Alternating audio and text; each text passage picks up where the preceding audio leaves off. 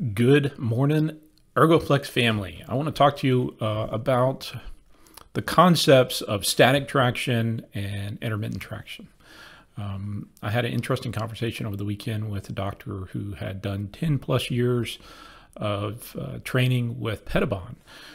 and if you know anything about Pettibon or even chiropractic biophysics, a lot of their work is all about static traction.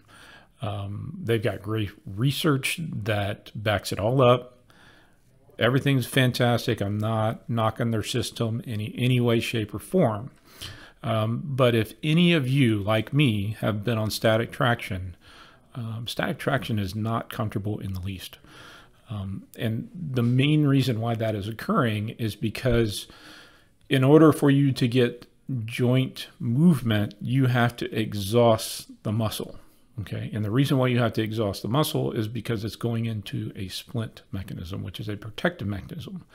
So anytime you distract, decompress, traction, however you want to say it, any type of joint in the body,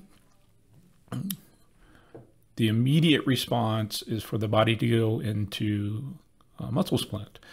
And the two specific mechanisms are the Golgi tendon apparatus and the muscle spindle apparatus. Okay. So, from a neurological standpoint, when we get stretched, um, and especially too far, say like um, in a car accident, or in, let's let's look at a baseball picture. Uh, it's not the acceleration mo- movement, right? This isn't the one that gets them in trouble. It's when their arm is actually slowing down. That's typically where they start to have injury. And, the, and what happens is the protective mechanism gets overridden, right? Because the, the muscle spindle and the Golgi tendon, something happens in that, that neurological set that it can no longer protect that joint. And then that's when we start to fatigue. That's when we start to have tears. so, you know, we were we were discussing. He, he, basically he came up and he looked at the Back on Trac. And he got on it. He got on the Knee on Trac, and he got off and um, and he, he wanted both of those systems to be put in static traction, which they will do. Uh, and there's there's good time to do strat- static traction, especially like on the Knee on Trac. Um, let's say you've got almost no joint space, you're truly bone on bone, and you're trying to do an allograft stem cell injection in that joint use protocol one, put it on 20 pounds. It'll move out statically to 20 pounds and hold that. All right. You can put it on pause or you can set it for six minutes, whatever you want to do. That joint space is going to be opened up, and now you can get the needle in place where it needs to be and actually put that material, that injection where it should be because you got the bones separated. You don't have to be worried about scraping. That is no fun, guys. If you've ever seen that happen, or if you've ever had it happen to you, because I have, if it bounces off that meniscus or off the bone, it is not fun. It hurts. So you can use the Knee on Trac to actually get an injection in place. In static. now, so his whole premise was that I don't like intermittent traction because you can't get the joint space open. And he and, and he said to me, he goes, You have to fatigue the muscle in order to get the joint space to open up. And I said, Well, okay, I, yes, I agree with you, but why not just not have that problem? Why not, from a neurological standpoint, just sidestep the whole concept of the muscle splinting action? That is intermittent traction. Okay. Not only intermittent traction, but intermittent traction with vibration.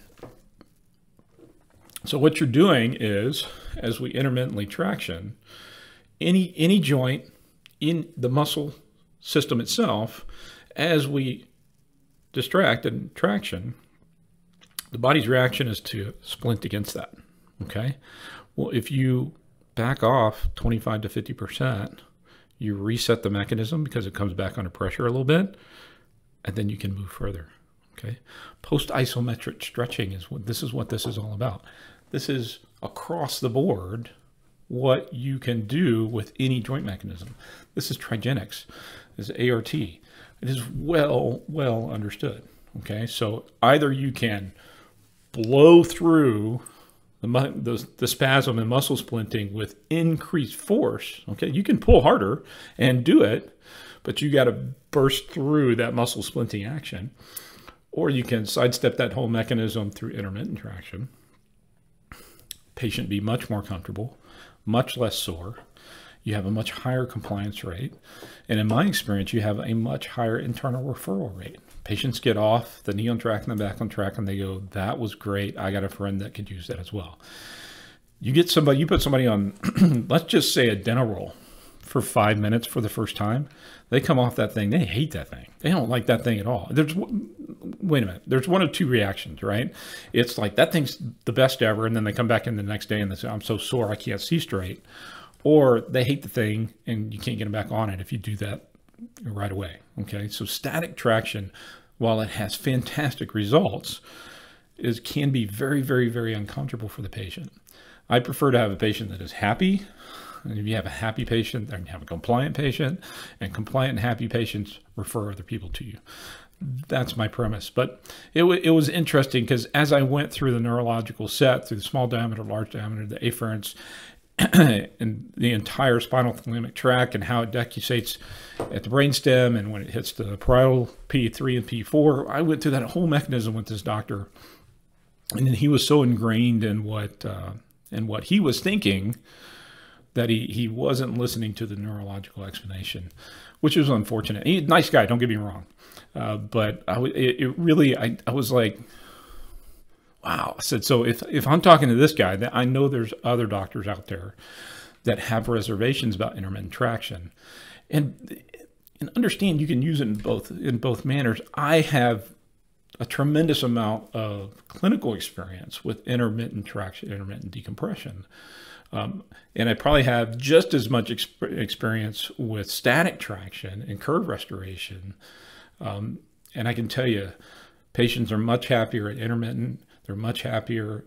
Uh, they're much more comfortable, and and they refer more people to you to actually get them. That's been my clinical experience. Okay. So if you have any questions specifically about static versus intermittent traction, let me know, dr.wyatt at backontrac.com or post on the ErgoFlex Facebook page or the Chiropractic Instruments of Success. Don't forget about Tuesdays, our Chiropractic Instruments of Success show. Yesterday was absolutely phenomenal. Kailee, uh, Kailee Wong, uh, he played for the Vikings and the Texans as defensive captain. He did a nine-year stint in the NFL, which is impressive in itself. Then he went on into the corporate world. And he had some absolutely mind blowing ideas that um, had brought a whole new level to the way I'm thinking about what we can do for exercise with oxygen therapy and the simple breathing techniques that we need to put in place. So, again, post on the Facebook pages, contact me directly with any questions. I'd be happy to help. Have a great one.